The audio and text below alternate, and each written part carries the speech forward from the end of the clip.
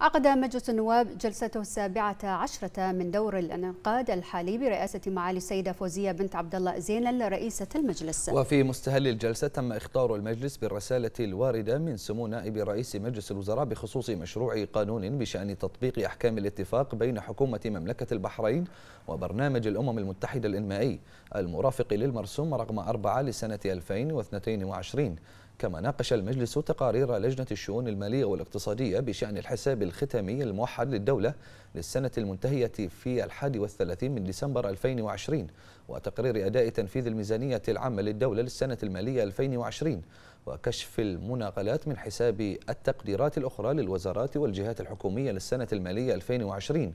ثم ناقش المجلس تقرير لجنة الشؤون المالية والاقتصادية بشأن التقرير السنوي والبيانات المالية المدققة لحساب احتياطي الأجيال القادمة عن السنة المالية المنتهية في الحادي والثلاثين من ديسمبر 2020